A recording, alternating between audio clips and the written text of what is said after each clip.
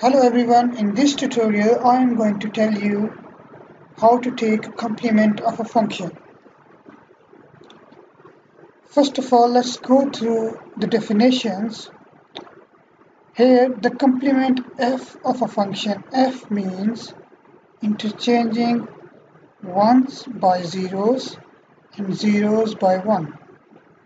Means we complement and uh, the opposite of the complement and we convert AND into OR and OR into AND and you can do it by using the De Morgan's theorem.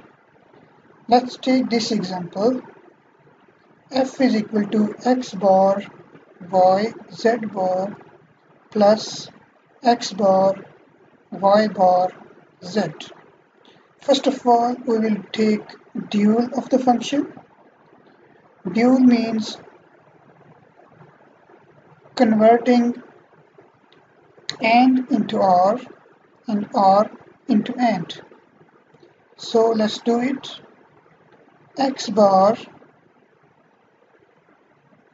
plus means OR Y plus Z bar then this term is complete. We come into plus sign which is or we convert into and. Then brackets x bar plus y bar plus z. This is the answer of f dual. Now we will take complement of the function which is too easy. Where is bar? We will remove the bar and where is not bar we will put the bar on the variable.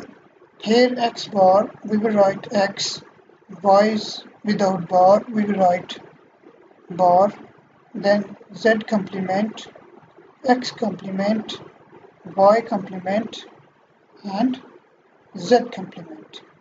Thank you very much for watching the tutorial. Please subscribe the channel